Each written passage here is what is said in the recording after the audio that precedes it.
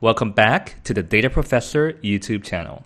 If you're new here, my name is Chanin Nantasenamat, and I'm an associate professor of bioinformatics. On this YouTube channel, we cover about data science concepts and practical tutorials. So if you're into this type of content, please consider subscribing. Data preprocessing and exploratory data analysis is very crucial to the success of every data science projects. So in this video, I'm going to show you how to do basic data preprocessing and exploratory data analysis in Python using the pandas library so that you can tackle your data science projects. So without further ado, let's get started. Okay, so the first thing that you want to do is head over to the GitHub of the data professor and click on the code repository. Scroll down, click on Python, scroll down and find pandas exploratory data analysis. Click on that. All right, and then you want to right click on the download button and save link as and save it to your computer.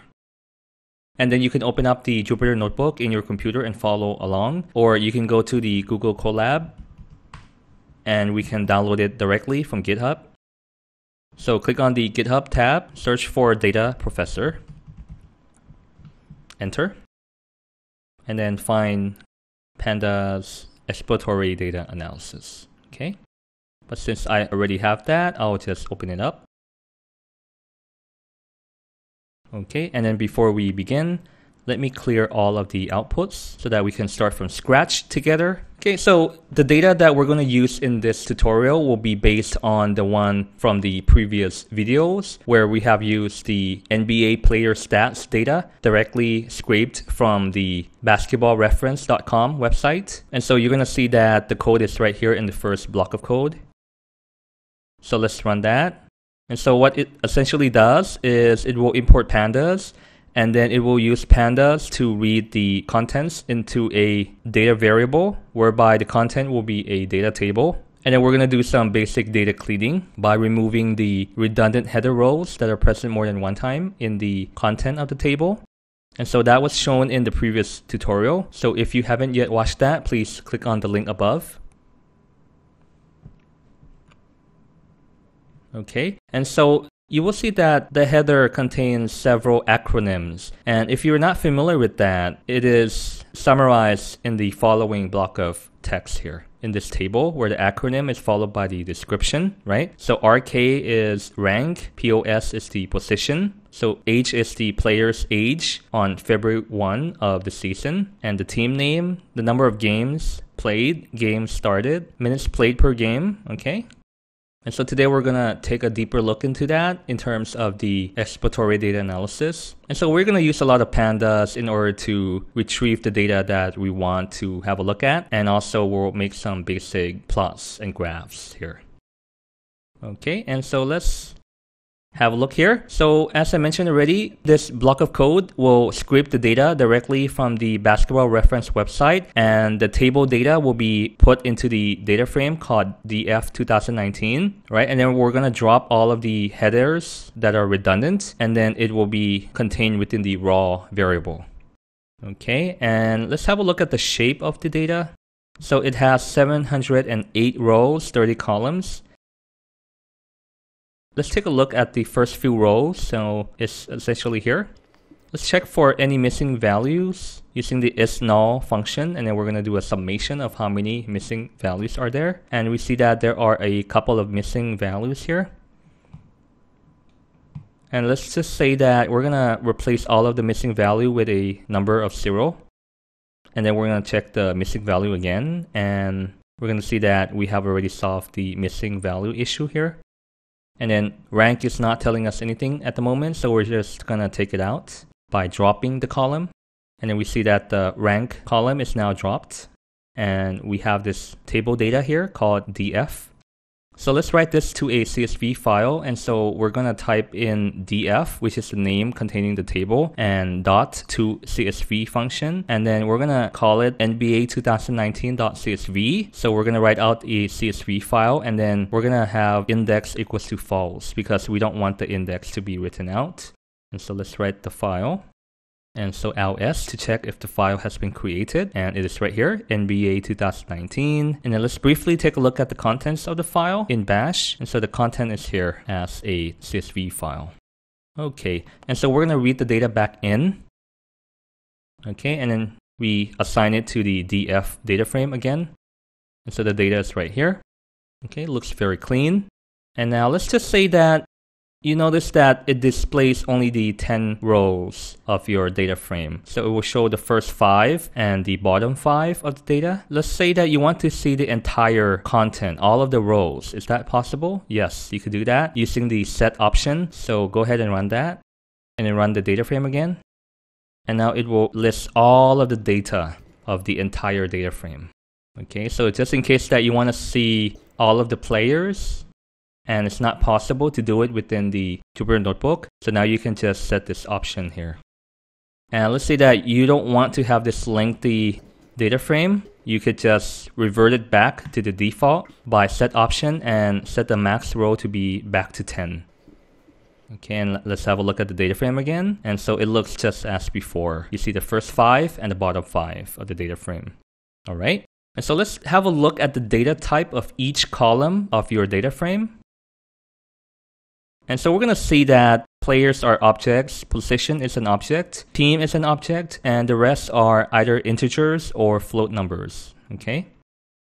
And so let's say that we want to show specific data type in our data frame. So we could use the select d type function and include equal to the data type that we want to be shown. So if we want to show all of the numbers, it will include integer and floating numbers. Then we want to use the include equals to number argument here. And so we're going to see only the numbers. Or if we want to show only the objects, then in the argument, we're going to use include object. Okay, and it's going to show only the object, which is the player name, the position, and the team. Okay, and so when we're doing exploratory data analysis, before we dive into all of the functions, commands that could allow you to do exploratory data analysis, which might be a bit boring or quite lengthy. So why don't we focus on the fun part? Let's ask some question and let's see which commands can help us to answer our questions. Okay, and so I'm going to group this into the various headings that I will show you hereafter. So the first concept here is conditional selection. So let's say that we want to show specific rows or columns in the data set which matches our particular condition. Okay. So let's demonstrate that with our first example. Okay. So which player scored the most points per game? Let's see how we can do that. So points is the column PTS and points here. Let's have a look at the meaning. So PTS means points per game. So in basketball, it's the number of points that a player scores in a given game. Okay, so it's the average points that are scored per game. So this is calculated by taking all of the points that the player has accumulated over the season divided by the number of games that the player plays. And so that will be the points per game. Okay, and that will be in the column PTS. And so let's have a look at the question again. So the question asks which player scored the most points per game. And we see that there are about 700 players in the data frame. And so in order to find which player scored the most point, we have to use the function max, which will tell us the maximum value for the given variable. So in order to select the column PTS from the df data frame, we will use df.pts. That is one way. Another way would be to use df bracket quotation pts. Okay. And so this is the selection of the particular column. And to get the maximum value, we will use the max function. Okay, and that will tell you 36.1, but it won't tell you the name of the player. Okay, so either way, it will be the same answer. So it's 36.1. So the next question is which player scores 36.1? Okay, and that player will be the answer for our question right here. And so we have to use this thing called conditional selection. So we already know the answer to be 36.1. Okay, and so notice that this block of code here is essentially right here. Okay, so when we type in the data frame df, it will display all of the players. Okay, and if I say df a particular column, it will show the values of that column. So in order to show the player which scores the most point, we're going to type in df, open bracket, df.pts, and then double equal sign, followed by df.pts.max. And then the opening and closing parenthesis, and then the closing bracket. And that will show us that James Harden from the Houston Rockets, with the position of point guard, scores the most point at 36.1. Okay. And so this will display all of the rows, the entire row. Okay. So the name of the player along with all of the data that are associated with this player. But let's say that we want to return specific values about this. Let's say that we want to know the team so how are we going to return the name of the team? So we're going to do this by copying this block of code here. And then we're going to assign this to the data variable called player max points in order to simplify the look of the code a bit. And then we're going to call the player max points again. And then we're going to use .tm because we're going to select the column called tm, which is the team. Okay, let's run this. And we see that the team is HOU. So it's the Houston Rockets. And so which position is the player playing as? So we're going to select only the POS column.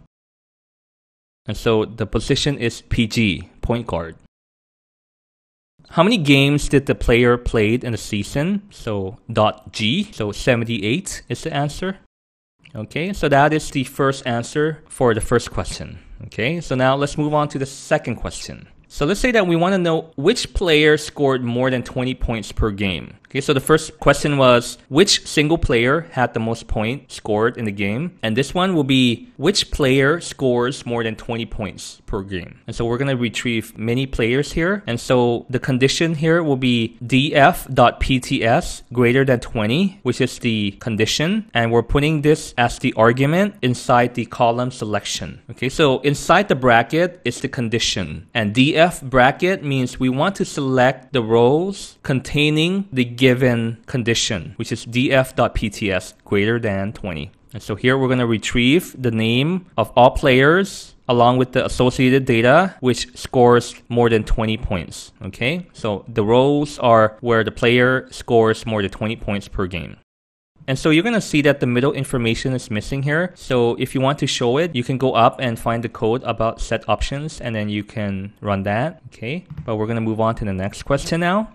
So the next question is which player had the highest three point field goals per game? And this will be the 3P column name. And so, as always, we're going to use df and then the bracket. And inside the argument of the bracket, we're going to use the df 3p equal equal df 3p dot max. So that will give you the maximal value of the 3p column. And then it will return the rows matching that condition. And so Stephen Curry is the answer, whereby he scores on average 5.1 three pointers per game. Okay, and the next question is which player had the highest assists per game? Okay, and the column name is AST. And so the same concept here, we're going to use DF and then the bracket, and inside as argument, we're going to use DF AST equal equal DF AST dot max. Okay and that will return Russell Westbrook, where he has AST of 10.7, he assists of 10.7. All right. And so the next several questions will be using the group by function concept. So the question here is which player scored the highest points from the Los Angeles Lakers? Okay, so let's have a look sequentially what does this block of code does. So first we're going to assign a variable called LAL and the content will use the df data frame and then it will group the data and then after grouping the data by the team, it will select the specific team that we want, which is the Los Angeles Lakers. And so let's run this code and have a look. LAL and so, as you can see in the team column, all of the players here are from Los Angeles Lakers. And there are 22 rows, okay? And the full dimension of the columns are shown. So if we change LAL to something else, the team will change. Right? OKC, and the team will change to OKC, okay? Let's change it back to LAL. Okay, and that's the answer. And so let's go to the next question. Of the five position, which position scores the most points? Okay, so in order to answer this question, the first thing that we want to do is to group by the position. So we're going to use df.group by and then group by the position, POS, and then dot PTS, which is the points, and then dot describe, which will give us the descriptive statistic. And so here we see that there are more than five position here because there are some positions that are hybrid, meaning that some players play two positions. The player could play both as a center and a power forward, both as a power forward and a small forward, both as small forward and shooting guard, both as a power forward and a shooting guard. Okay. And so you see that the number of count here is very low. So only one or two player are playing both positions. And so let's say that we want to remove these low occurrence data data. How are we going to do that? So first we're going to define a variable called position and inside we're going to make it a list of the five position that we want to be shown, which is the traditional position containing center, power forward, small forward, point guard, and shooting guard. Okay. And we're going to define a variable called POS with the capital letters. And then we're going to define DF open bracket and then we're gonna have df open and closing bracket inside is the position and then we're gonna use the isin function isin and then as argument position. So what this essentially does is it will remove all of the irrelevant position out and it will display only a subset of data which contain the positions that we wanted in the list. Because we have only five position here it will display only the five positions that are listed here in the list which is five okay Let's run that. And so we see that there are only the five positions shown. So there are 700 rows, right? Because the hybrid position will contain two, two, which is four, two, six now, one, one, so it's eight.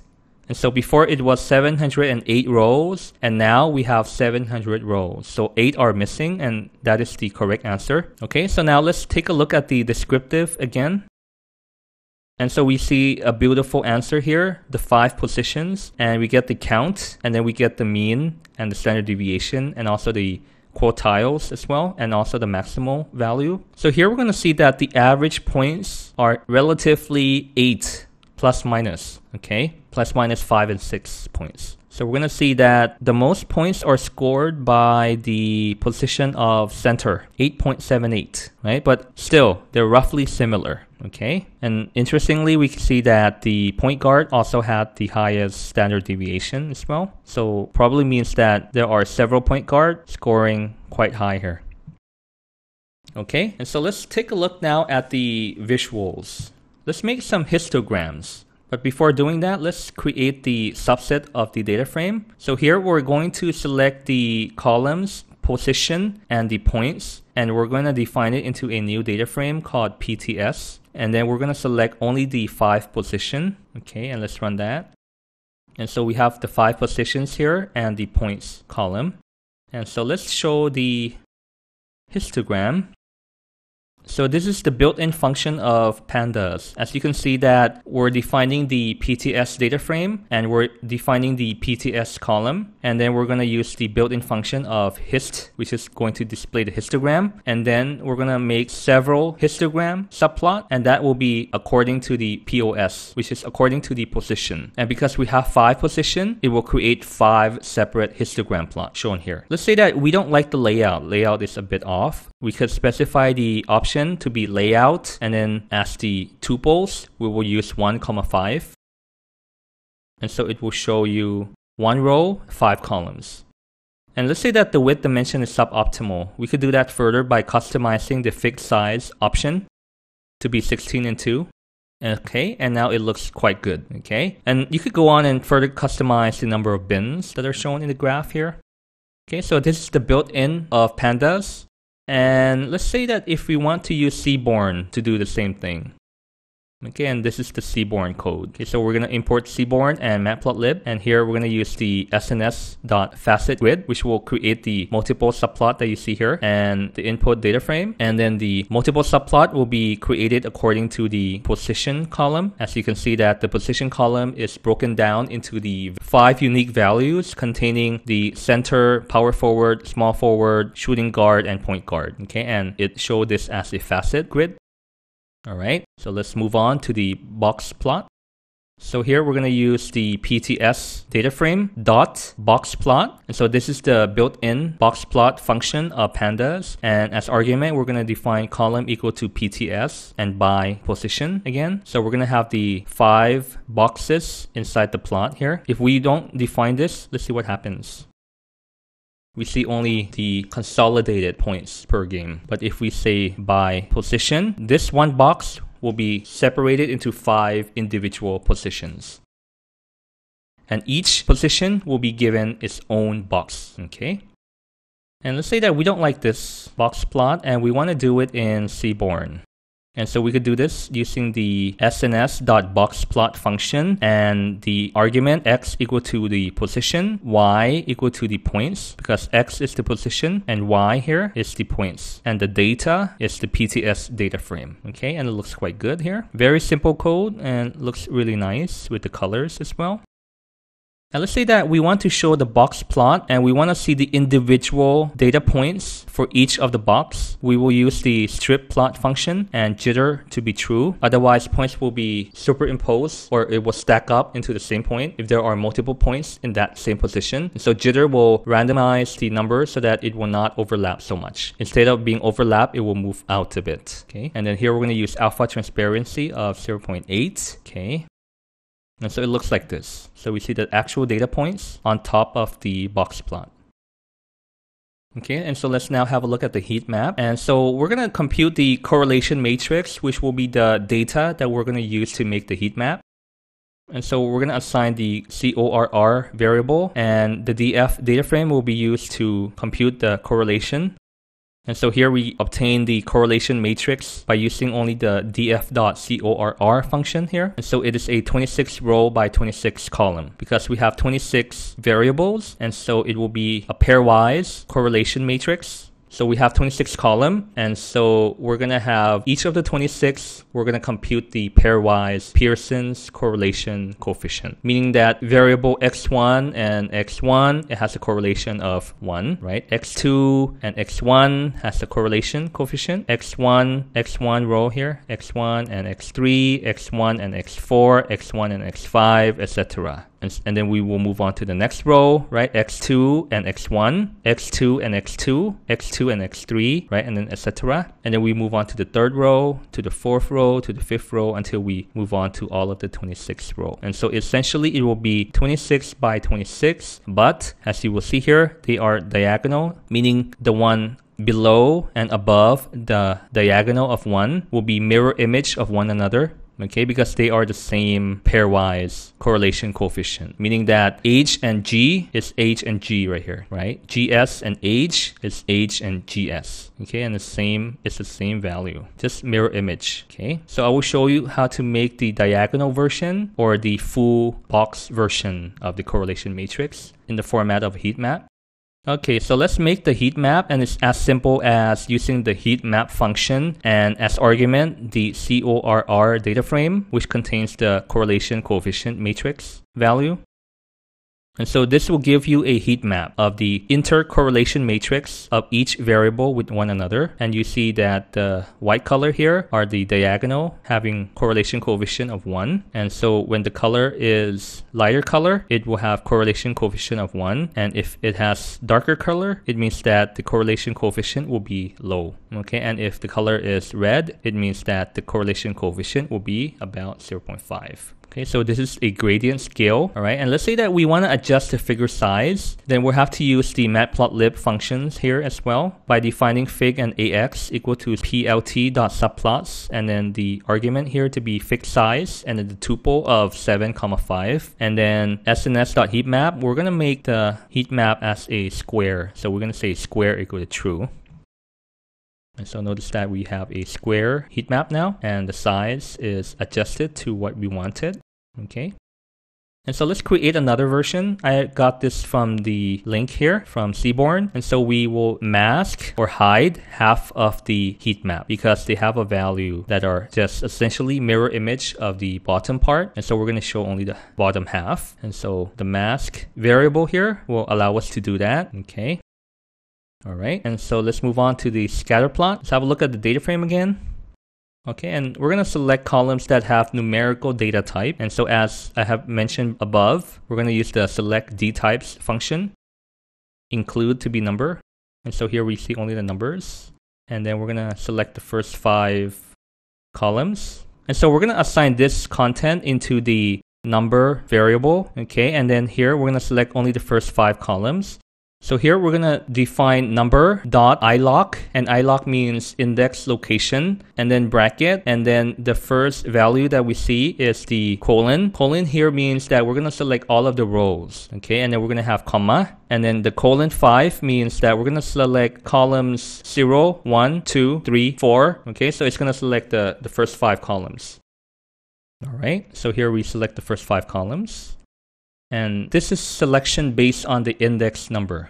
Okay, and let's say that we want to select the columns based on the column names. And it's like the same concept that we selected the positions, the five positions that I have created above here. The center, power forward, small forward, point guard, shooting guard, right? And so we're going to use the same concept. We're going to define a variable called selections. And then the content will be the list, okay? It will be a list of the column names. And then we're going to define df and then opening and closing bracket. And then the argument will be selections, okay? And then it will display data containing only these columns. Let's have a look. All right, and it does exactly as we expected. It will display age, game, steal, block, assist, and points. Okay.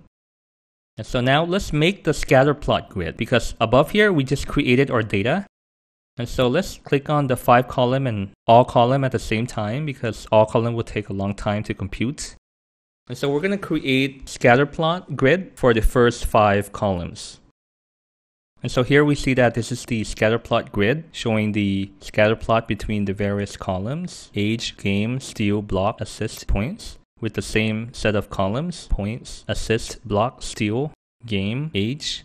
And notice that the perfect line here means that the columns are compared with its own column. So it is a self comparison, age and age, games and game, steal and steal, right? Block and block, assist and assist, points and points. Okay, and half of the data will be mirror image of one another. So same concept like the correlation matrix heat map. All right, and so now we see that the all columns here are computed for the scatter plot. And so we see that there are 26 by 26 plot grid here. And so the diagonals are shown here and the remaining 26 are shown here. And so the upper half and the lower half are essentially the same information. And so we see a lot of positive correlation or no correlation at all, right? Or positive correlation, right? So we see that some variables have positive correlation, some variables don't have positive correlation field goal and points. Okay, so there's a positive correlation. Field goal attempts and points. Two points and okay, so so they are related to scoring, right? So field goal attempt are the number of times they shoot in order to score, and so that is directly related to points scored in a game. Okay. So congratulations, you have now done some basic data preprocessing and exploratory data analysis. So as always, in order to learn data science, you have to do data science and feel free to apply this block of code for your data set of interest in order to expand your data science portfolio. And so let me know which data set you are working on and let me know your success in applying this set of code to your own data set. So if you find value in this video, please give it a thumbs up and please enjoy the journey.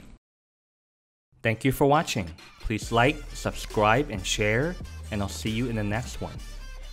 But in the meantime, please check out these videos.